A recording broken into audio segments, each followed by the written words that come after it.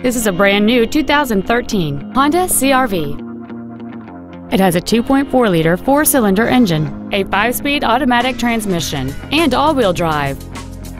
All of the following features are included. A power moonroof, air conditioning with automatic climate control, cruise control, a CD player, a leather-wrapped shift knob, a passenger side vanity mirror, a security system, a traction control system, a split folding rear seat, and the heated seats can warm you up in seconds, keeping you and your passengers comfortable the whole trip.